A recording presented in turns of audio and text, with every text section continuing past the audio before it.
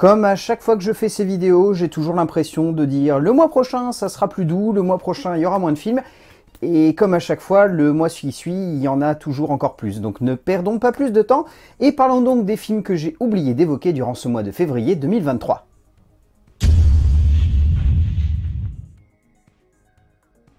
Si l'on n'est pas toujours surpris par le pitch d'un film, potentiellement en salle, cela peut être très différent. Disons que sur le papier, je sentais franchement le bon film du dimanche, pas du tout prise de tête, cherchant surtout à capitaliser à fond sur l'aura autour de sa star, ne cherchant pas plus que cela à exploiter un pitch assez classique, mais pouvant potentiellement donner lieu à un petit moment d'émotion attachant et touchant juste comme il faut. Comme on pouvait s'en douter, le long métrage de Mark Foster est clairement convenu par de nombreux aspects. Un classicisme évident dans la mise en scène, dans la construction dramatique et cinématographique d'une histoire que le cinéaste ne veut jamais transcender, et cherche simplement à emmener dans la bonne direction, sans surprise, pour une œuvre qui reste attachante et touchante dans son genre, mais qui n'exploite pas grand chose de plus, sans forcément s'en cacher car elle sait qu'elle peut se reposer sur son acteur central, Tom Hanks, qui comme à son habitude est tout simplement radieux et délicieux à suivre de bout en bout, d'un métrage dont il ressort comme le véritable et indéniable point fort. Un film qui vaut le coup pour lui, et pas pour grand chose de plus malheureusement.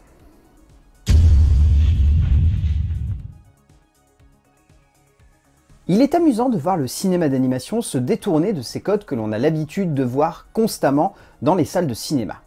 Je ne dis pas non plus que cela n'arrive jamais, mais il est rare, à part dans le cinéma américain, de voir des auteurs s'imaginer capables de détourner et d'adapter correctement les codes d'un cinéma souvent fermé en termes de style et n'offrant que peu de portes de sortie pour s'essayer à autre chose. Toby Kengle, aidé de Florian Westerman, nous offre une lecture particulièrement déjantée et assez savoureuse du conte de Terry Pratchett, pour un moment de cinéma assez cool et amusant par de nombreux aspects, s'essayant régulièrement au style assez audacieux du détournement du film pour enfants afin de conquérir le cœur des adultes, pour une œuvre loin d'être parfaite en termes de forme ou de fond, mais sonnant comme une proposition assez juste et un moment de cinéma tellement fun pour nous embarquer du début à la fin d'une aventure prenante. Un film d'animation qui va un tout petit peu plus loin que cela, et heureusement pour nous d'ailleurs.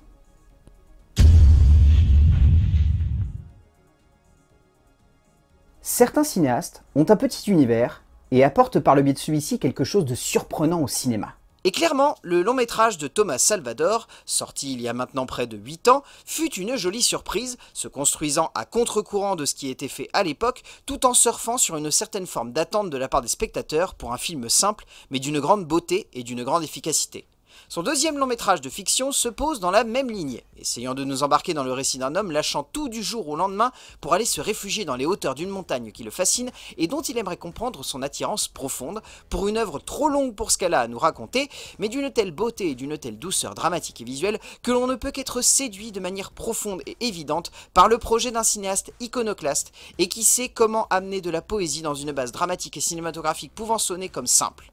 Et puis, il faut avouer que l'acteur et réalisateur porte très bien son projet, accompagné par une grande justesse par l'excellente Louise Bourgoin, magnifique et parfaite dans un rôle qui lui convient à la perfection.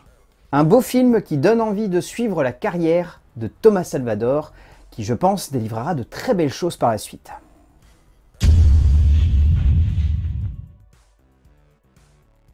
Les fresques familiales ont une forme assez captivante. Car dans celle-ci, on peut mettre un peu tout. On peut mettre du thriller, on peut mettre du drame, du social, de l'humain, de l'horreur, de la comédie, on peut construire ce que l'on veut, tant que l'on parvient à rendre ces personnages attachants et surtout que l'on réussit à développer une histoire qui se tient autour d'eux. Léonore Serrail nous offre cela au cœur d'un film se prêtant au jeu de mêler le spectateur à l'aventure d'une famille se composant d'une mère et de deux enfants pour un moment de cinéma qui sonne comme très classique, notamment dans sa mise en scène, mais qui parvient, par son découpage en trois chapitres et sa construction large et forte dans le temps, à nous toucher et nous faire réfléchir sur l'impact de l'immigration et surtout sur la reconnaissance de cette famille dans ce pays d'accueil pour une œuvre émouvante, touchante, forte par de nombreux aspects mais surtout très belle. Et par-dessus le marché, il faut bien avouer que le trio de tête emmené par Annabelle Lengron est vraiment parfait. L'actrice parvenant totalement à dominer le métrage et offrant par là même une prestation aussi douce que fascinante dans le rôle de cette mère. Convenu par de nombreux aspects, ce long métrage n'en reste pas moins assez captivant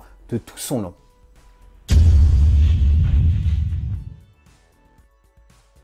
S'il faut bien avouer que les comédies françaises ont souvent tendance à se ressembler, cette scène arrive parfois tout simplement à sortir du lot et à surprendre. Bon, là, difficile en un sens d'utiliser cet adage pour le métrage qui s'offre à nous. Car dans le genre, il n'y a pas vraiment de surprise sur le papier avec le nouveau film, premier d'une lignée de deux cette année, offert par la bande à Fifi, pour un long métrage se posant comme une suite simple, mais cherchant à être à la hauteur du succès du premier. Philippe Lachaud n'étonne pas avec ce film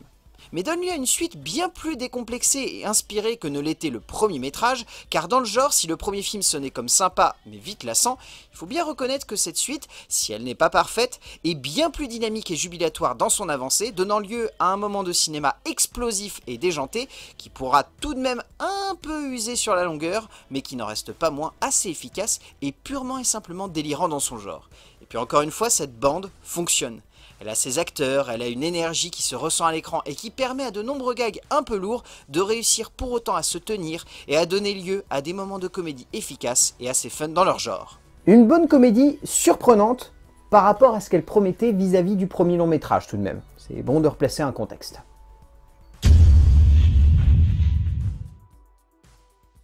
On n'aurait pas l'impression de l'avoir déjà vu mille fois ce film, ou je me trompe? Un peu quand même, mais bon, Parfois, même si une histoire est racontée de mille manières, les mille manières peuvent être convaincantes, si tant est que l'auteur aux commandes parvienne correctement à s'emparer de l'histoire et à lui donner une portée et une perspective assez prenantes pour nous embarquer de bout en bout.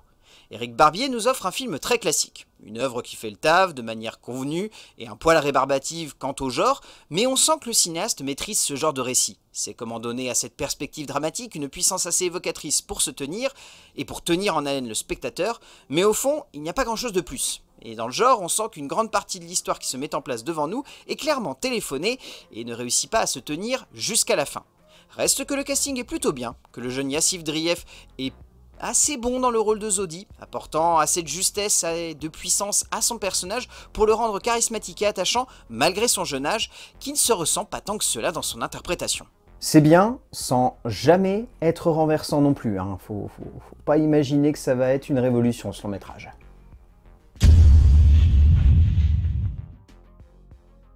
Fable écologique et récit initiatique. Un cocktail bien à la française, vous ne trouvez pas? Dans le genre, difficile de ne pas trouver plus cliché que ce type de long métrage, cherchant à la fois à montrer un groupe de personnages mis de côté et marginalisés par la société, qui va tenter quelque chose de fou, qui soit un minimum en rapport avec l'actualité pour inclure correctement le spectateur là-dedans. Stéphane Cazès est dans une position compliquée ici, l'auteur parvenant à donner une certaine forme à son film, mais se heurtant tout de même assez régulièrement à une batterie de clichés et de facilités qui laissent un peu perplexe, mais qui nous font tout de même penser que l'auteur se donne à fond pour son sujet, cherche à la fois à sensibiliser, mais également à toucher par une émotion assez bien gérée, donnant lieu à ce moment de cinéma un poil lourdeau, dans sa manière d'avancer, mais assez sensible dans l'instant. Même si parfois il en fait un peu des caisses, il faut reconnaître que Clovis Cornillac s'en sort bien et que l'acteur se donne tout de même à fond pour ce moment de cinéma très classique, mais qu'il réussit tout de même à joliment emmener. C'est simple, mais pour le coup, cela reste assez efficace.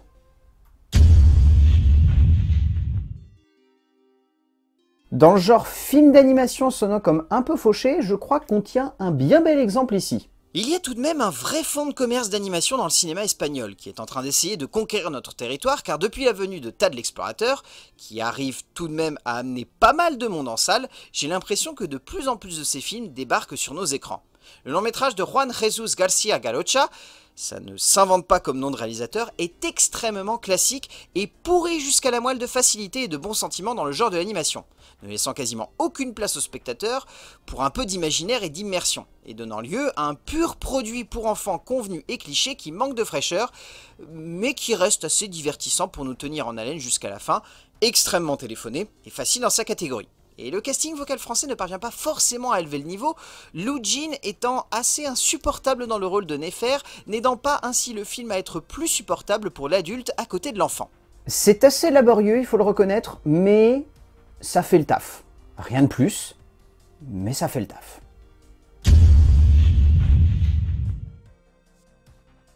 Les films chinois, on en voit finalement peu de nos jours, notamment dans les salles françaises. En même temps, vu le contexte, je peux comprendre. Et pourtant, je trouve qu'il possède un petit charme indéniable, celui des grands films cherchant à garder les pieds sur terre, mais également cherchant à nous offrir des portraits attachants et émouvants autour d'êtres humains souvent très appréciables et que l'on va aimer suivre durant une grande épopée dramatique, et c'est exactement ce qui semblait s'offrir à nous ici. L'Heroïgine nous emporte dans un torrent d'émotions, un film à fleur de peau, une œuvre aussi belle que terriblement attachante et émouvante, un moment de cinéma d'une immense et grande sensibilité, parvenant non seulement à nous toucher par la douceur et la subtilité de son aventure, mais également parvenant à donner lieu à un moment de cinéma bouleversant et sensible où l'humain simple se fait broyer par une machine moderne et capitaliste à l'extrême qu'il ne peut absolument pas stopper. Ajoutons que les deux performances assez folles de Hugh Renlin et de Wing donnent une puissance et une intensité dramatique et cinématographique à de nombreuses scènes qui m'ont totalement et magnifiquement passionné du début à la fin. C'est dramatique, sensible, et pourtant d'une si grande simplicité.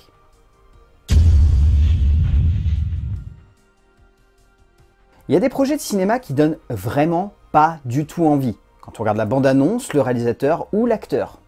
Et je dois bien reconnaître que dans sa catégorie, le long métrage que semblait vouloir nous offrir l'humoriste Boudère, accompagné de sa co-réalisatrice Gaëlle Falzerana, n'avait rien de très prenant ou attachant sur le papier, le long métrage se posant comme une proposition très convenue et très grossière, et n'ayant pas grand chose de plus à nous offrir. En un sens, c'est exactement ce que nous avons ici. Une œuvre convenue et hyper calculée dans son genre qui ne parvient à ressortir du lot que par de brèves idées de scène ou une certaine forme d'attache autour de notre héros, même si rapidement on sent que ce sont surtout les protagonistes secondaires qui font tenir le film par l'élégance d'un propos dépassant la base même de l'œuvre. Et puis, même s'il n'est pas toujours parfait, ou même juste dans son jeu, Boudère propose tout de même une interprétation assez juste d'un personnage pas forcément réussi, mais qui parvient à faire tenir le métrage jusqu'à la fin. Une proposition très légère, mais qui se tient tout de même.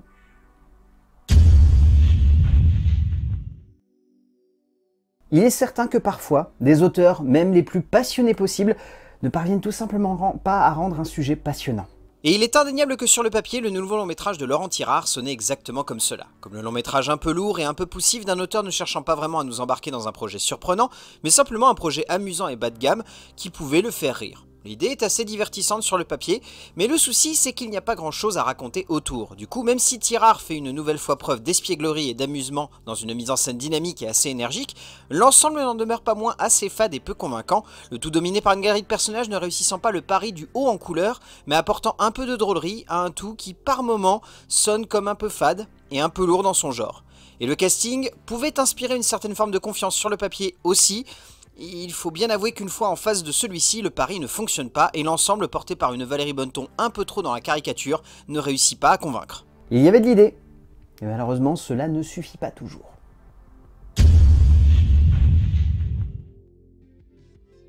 Les comédies françaises, notamment, hein, qui se basent autour d'un concept, autour du sexe, la majorité du temps ça sent pas bon et ça sent le truc bien lourd. Hein. Et dans le genre, je crois qu'on tient la comédie lourde de l'année sur le papier. Même si on pouvait aussi, par les acteurs et la direction artistique prise sur la base du film, s'imaginer que cela pouvait sonner également comme une petite surprise, une comédie enjouée et délirante, autour d'un homme et de son chéri. Euh, disons que la base est là, mais que le concept ne tient pas sa promesse sur la longueur. Tristan Seguela, euh, se perdant dans une construction dramatique et cinématographique, abusant des traits de caractère de ses personnages et développant par là même une construction autour de la stigmatisation de son héros qui ne fonctionne pas durant une majorité du film, mais qui donne tout de même lieu à quelques moments de comédie qui se tiennent, sans pour autant que l'on ait la sensation que le film arrive à aller plus loin que la bonne blague. Après, Lucchini et Fro forment un joli duo. Surprenant sur ce type de comédie, il faut l'avouer en plus, mais aucun des deux n'arrive forcément à s'emparer totalement de son personnage, Lucchini étant égal à lui-même, et Fro offrant une performance décalée, mais trop sérieuse pour tenir sur la longueur. Un concept comique lourd, totalement à l'image de ce film.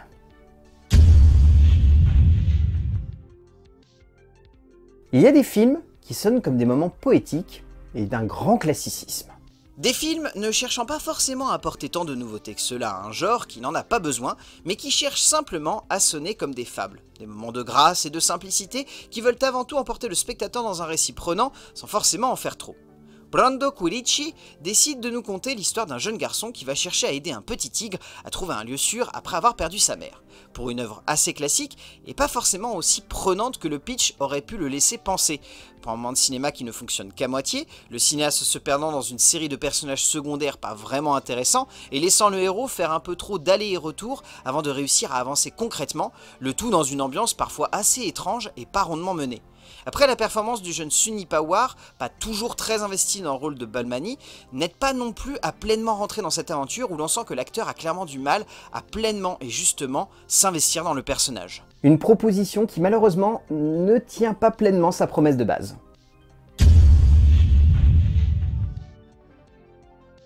Il y a des auteurs qui tentent de proposer des choses qui ne semblent clairement pas liées à notre époque. Ainsi, lorsque j'ai entendu parler de ce film, j'ai eu la sensation que ce nom me disait quelque chose. Mais surtout, je me suis demandé si l'on n'était pas à nouveau face au Liam Neeson bourrin et décélébré de l'année, qui allait nous embarquer dans un florilège de violence et d'action, et comme je me trompais, mais je dois bien l'avouer. Neil Jordan nous offre un polar noir américain comme on en voit si peu depuis maintenant un bon moment, même si Del Toro s'était totalement emparé du genre pour le remettre à sa sauce l'année dernière. Pour donner lieu à un moment de cinéma complètement iconoclaste, un long métrage sentant énormément le studio de tournage, les décors factices et les scènes de dialogue à rallonge, plutôt immersive mais assez verbeuse également, pour un tout sonnant comme une proposition qui ne se tient pas forcément dans notre époque, mais qui arrive tout de même à nous emporter dans un polar à l'ancienne simple, mais bon. Et puis, même si l'on avait déjà vu euh, l'acteur jouer des rôles plus sobres, cela fait du bien de revoir Liam Neeson dans une posture plus en retenue pour donner lieu à un personnage de détective réussi et qu'il maîtrise à la perfection. Un petit polar sympathique sans clairement être renversant.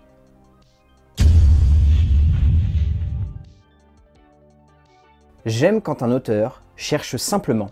à parler de nous. Oui, nous, pauvres humains que nous sommes, avec nos petits problèmes parfois très bêtes et assez insignifiants, mais qui permettent également assez rapidement de cerner ce que nous sommes sur cette terre, soit finalement pas grand chose, pour donner lieu à des œuvres souvent anecdotiques, mais également passionnantes. Eric Besnard nous propose un de ces moments de cinéma où l'on sait d'avance dans quelle direction va aller le réalisateur, en nous offrant le voyage d'un homme cherchant à renouer avec la simplicité, d'un voyageur perdu devant un hôte peu convaincu par son arrivée, pour un moment de cinéma pas vraiment novateur dans sa catégorie, mais qui fonctionne tout de même assez bien pour nous emporter tout de son long, avec une attache particulière pour ses personnages. Et il faut bien avouer que dans le genre, les choix plus que judicieux de Grégory Gadebois et Lambert Wilson pour porter le film donnent lieu à des situations juste parfaites où les deux acteurs parviennent à sublimer par leur jeu pour une œuvre dont celle-ci tire de leur performance un bon 50% de sa réussite. Un film doux, prenant, émouvant et très attachant. J'adore quand le monde du documentaire nous plonge dans les océans. Cela n'arrive plus autant que lorsque Jacques Perrin était en vie, ou que Yann Arthus Bertrand faisait un peu plus de cinéma. Mais de temps en temps, des longs métrages nous proposent de découvrir des lieux et des profondeurs dont nous connaissons finalement peu de choses et qui méritent d'être découvertes un peu plus. Jean-Albert Lièvre nous emmène exactement dans cela, dans une proposition émouvante et touchante à fleur de peau des plus grandes créatures peuplant notre terre mais surtout nos mers à l'heure actuelle, les baleines. Pour un moment de cinéma très juste, où le cinéaste nous embarque totalement avec elle, dans un film où la mise en scène est très immersive et presque planante, pour un moment de septième art qui marche, qui reste très simple dans sa narration et sa mise en scène, mais qui fonctionne extrêmement bien. Ajoutons que la performance extrêmement juste et attachante de Jean Dujardin en narrateur apporte beaucoup à ce métrage et donne le ton de cette aventure qui sonne comme parfaitement en résonance avec notre actualité. Un joli portrait marin et très moderne par sa thématique.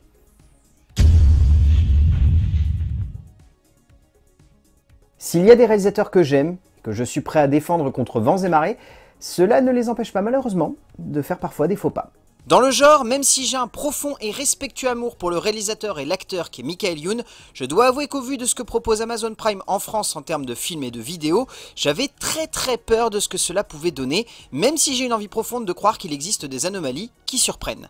La nouvelle réalisation de l'acteur slash auteur ne donne rien de bon, car s'il y a une envie profonde de se taper un énorme délire et de nous inclure dedans par le biais d'une réalisation explosive et assez dynamique, du type Les 11 commandements, Yoon ne fait pas en sorte que son film donne lieu à plus qu'à une bonne blague, poussant le bouchon un peu trop loin et n'alignant pas les bonnes étoiles pour construire un récit qui aille un peu plus loin que la bonne blague, mais malheureusement, la blague est longue, et lourde, et rappelle un peu trop des exemples américains bien plus fins et bien plus sentir dans leur genre. Et si sur le papier le casting donne vraiment envie, on sent que Lucien Jean-Baptiste, Elena Noguera et Vincent de Sagna n'arrivent pas du tout à suivre et délivrent des prestations très moyennes, peu convaincantes et extrêmement poussives dans leur genre, ne donnant pas grand chose pour sauver le film.